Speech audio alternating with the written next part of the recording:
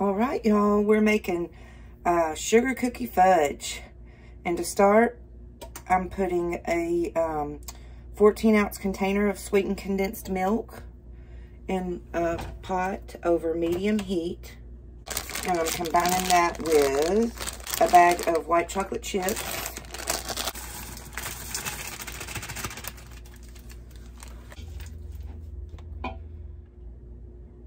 Okay, once you've got that melted together, you're going to add a heaping cup of your sugar cookie mix.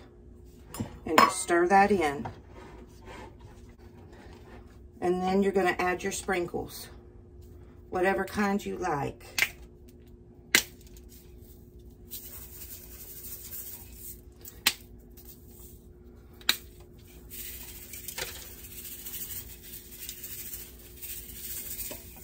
And stir.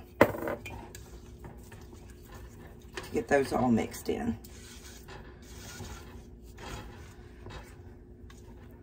And then you're just going to pour this into an 8 by 8 blind